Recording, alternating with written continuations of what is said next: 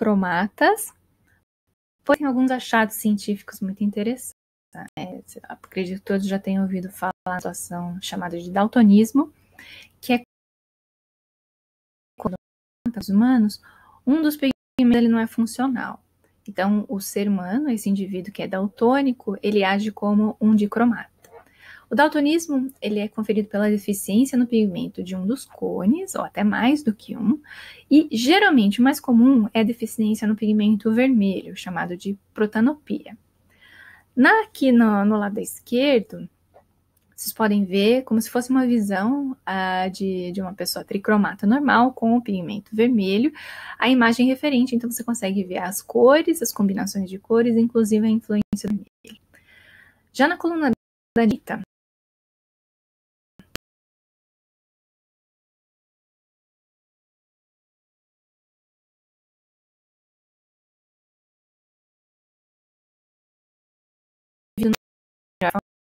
e interpretar a coloração vermelha. Os cones também geram um resultado muito interessante na nossa função visual. Existe uma é, um, também é uma curiosidade chamada de imagem negativa. O que acontece?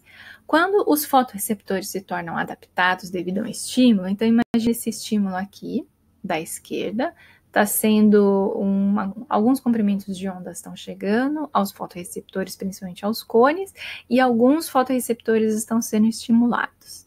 Então, esses receptores que são estimulados por um tempo, depois de um certo tempo, eles se tornam adaptados e param de sinalizar, ou seja, para não ter uma superexpressão e para se preservar, as células simplesmente param de sinalizar. Aí o que acontece?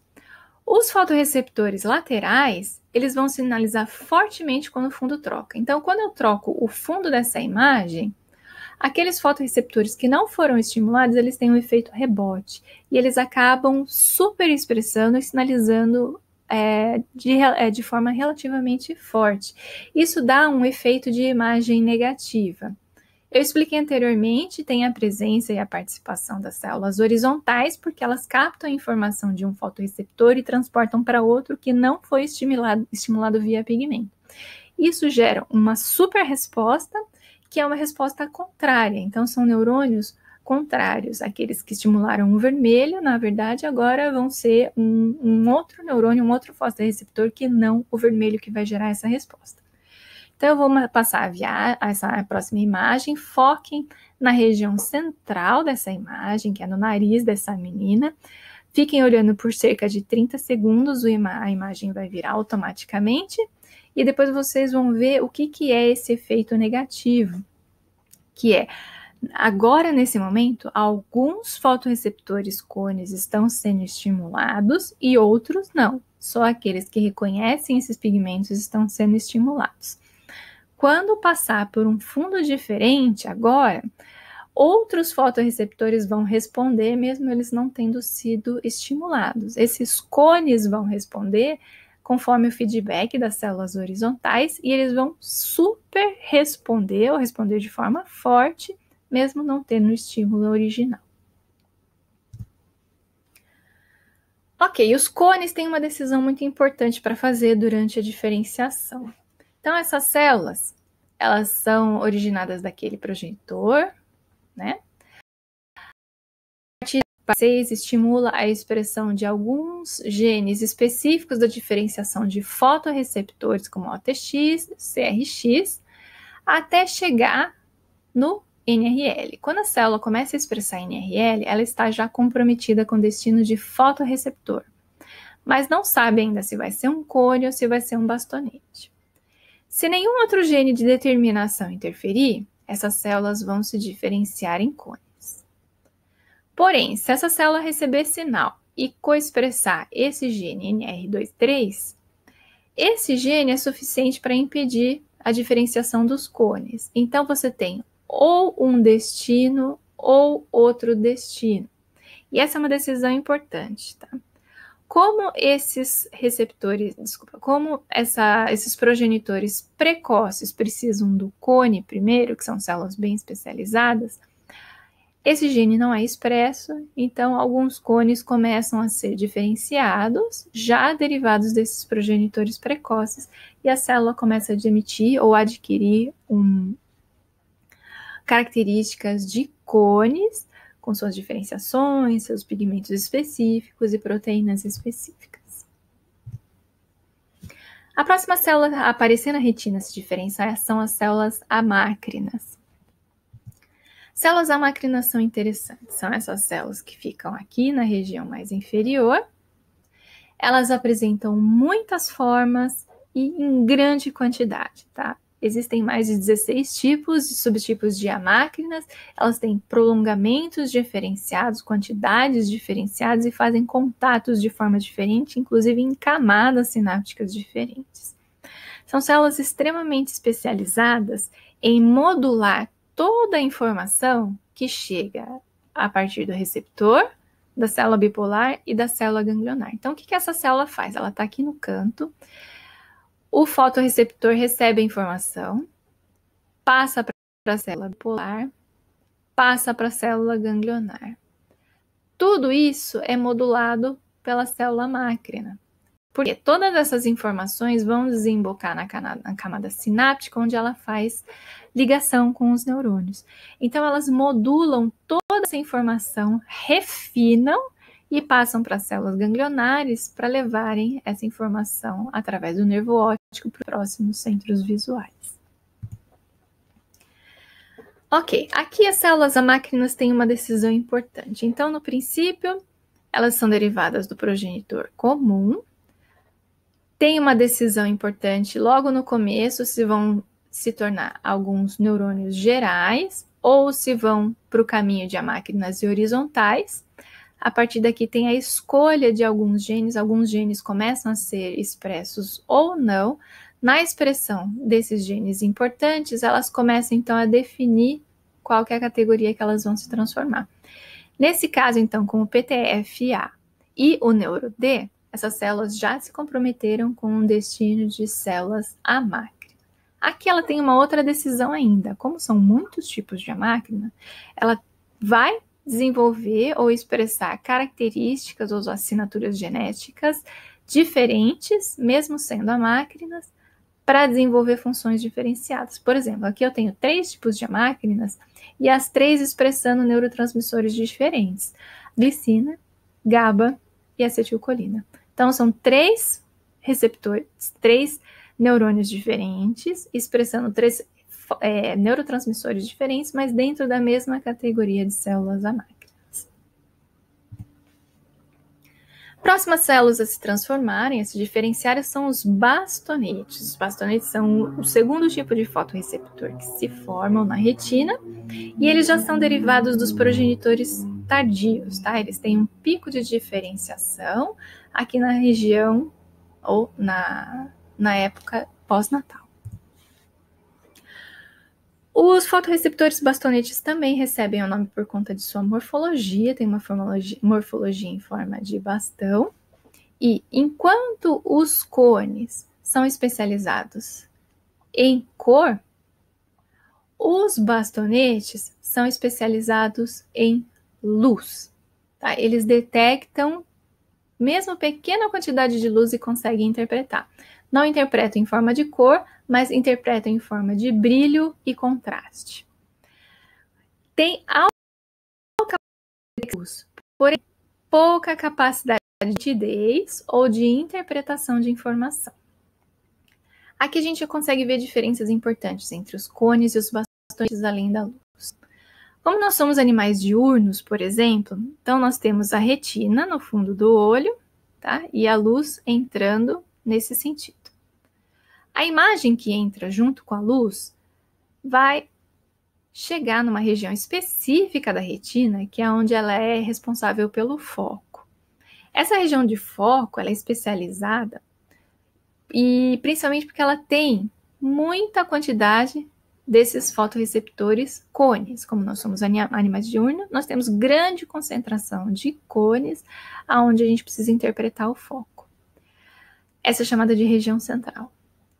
A região periférica ela é importante para o campo periférico, porém não é importante para o foco. Então, essa região, principalmente nos seres humanos, é rica em bastonetes. Tá? Então, os bastonetes são ricos na região periférica e os cones na região central. Isso quer dizer que a nossa visão periférica ela é conferida principalmente por conta dessas células bastonetes. E por ter muita quantidade de bastonete na região periférica, nós temos pouca nitidez de informação na imagem. Mas isso forma um bom campo visual. Então, a gente tem os cones na região central, os bastonetes na região periférica, e a gente tem um bom ângulo de visão. Na próxima imagem, eu quero que vocês olhem principalmente no pontinho amarelo do meio. Aqui não é questão de tempo. Focando nesse ponto amarelo, sem desviar o olho, vocês conseguem ver que tem essa forma hexagonal de forma repetida, certo? Eu praticamente consigo dizer para vocês que eu tenho essa forma hexagonal em todo em todo meu monitor, em toda a tela.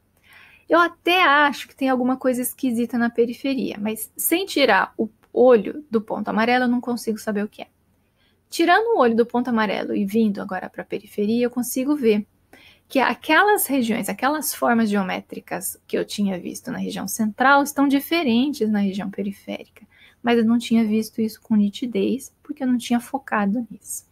Então, se eu for olhar essa região central, eu tenho o hexágono de forma é o meu minha região central, é o meu foco central de visão. O resto é minha visão periférica, que é conferida principalmente por conta dos bastonetes. Então, eu tenho uma alta capacidade de detecção de luz, mas pouca capacidade de definição. Eu enxergo, mas não muito bem.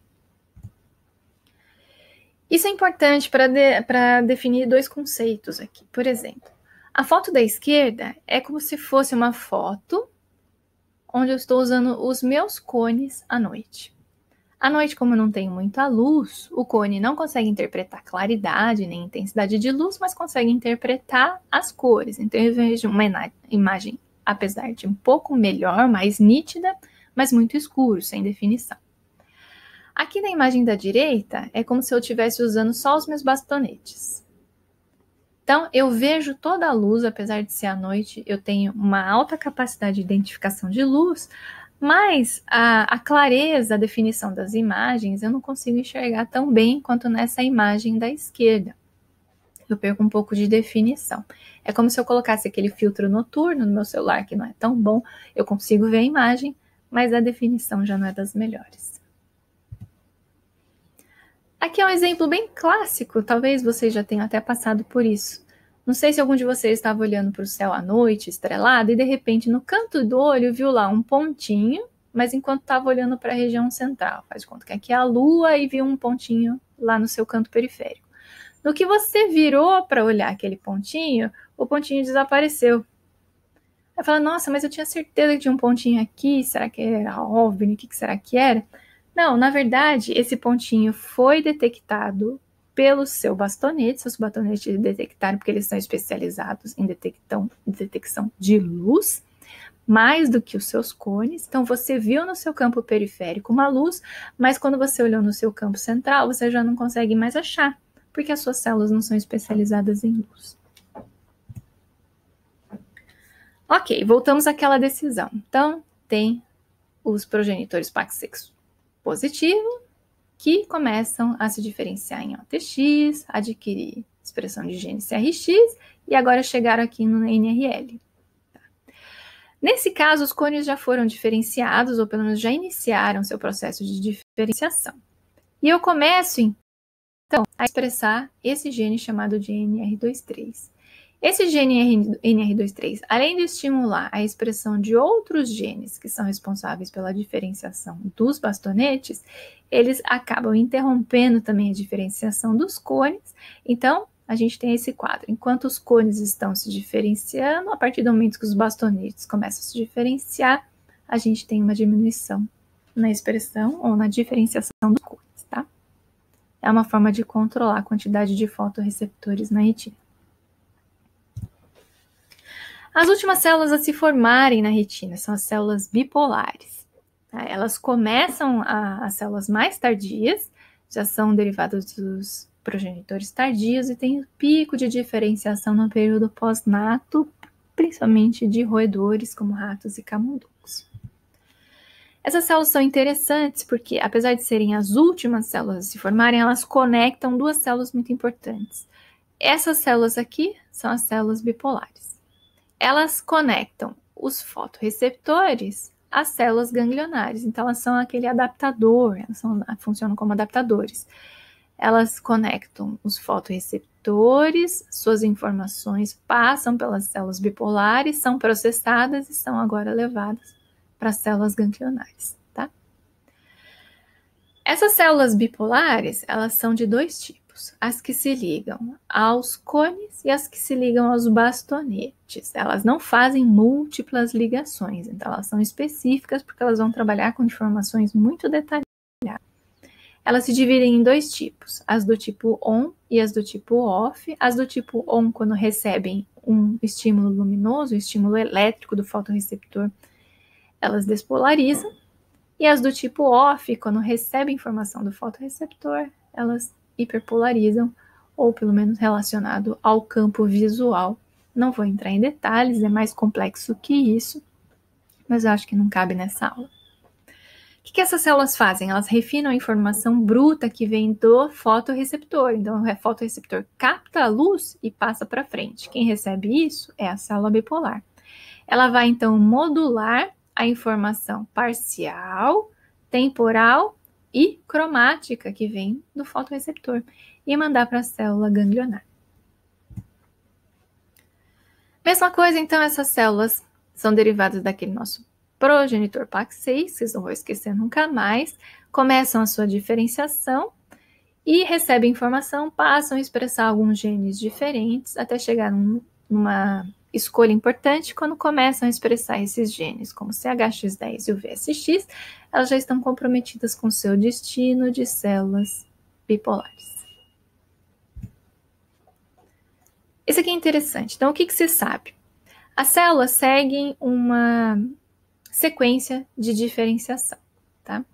Naturalmente, essa sequência não é alterada nem pulada a não ser que esteja em alguma condição patológica ou induzida farmacologicamente, por exemplo. Mas, se a, o desenvolvimento acontece de forma normal, essa sequência é preservada. Então, não existe o salto entre um tipo celular para outro, comendo algumas bolas ou cortando caminho. Outra coisa que não existe numa situação normal é uma célula diferenciada deixar de ser diferenciada e voltar a ter um outro tipo de, de destino, por exemplo, voltar para trás e voltar a ser, por exemplo, uma célula bipolar não voltaria a ser uma célula ganglionar, muito menos uma célula progenitora. Tá? Isso em condições normais. Mas estamos falando de cientistas bem pleno ano 2020 que conseguem manipular muita coisa em laboratório. Isso então é, acaba sendo revertido. As células em laboratório, através de fármacos e usos, conseguem passar de um destino para outro através da adição de fatores tá, que os cientistas descobriram que são importantes para algum tipo de determinação específica. Essas células também conseguem reverter o seu, as suas características, a sua diferenciação, seu perfil, podendo voltar às células de diferenciação precoce ou até mesmo voltarem às células progenitoras. Isso é muito importante, principalmente para algum tipo de terapia celular. Imagina que você pega uma célula da glia, aqui que se diferenciou mais tardiamente, então isso aqui é uma célula glial, tá? E você estimula essa célula a se desdiferenciar, deixa de ser glia e volta a ser aquele progenitor retiniano precoce, expressando PAC6, que ela consegue fazer isso uma vez que elas dividem os progenitores em comum. Uma vez transformada em progenitoras, vamos dizer que sua célula, sua retina está faltando cone, seus cones estão danificados. Então, você consegue pegar essa célula e rediferenciar num cone que vai ser importante para você mais para frente, porque se está em falta de cone, então você tem uma deficiência visual. Toda essa parte científica de como acontece a regeneração, tanto a escolha de destino quanto a desdiferenciação, eu vou falar na próxima e última aula, quando eu falar de regeneração retiniana.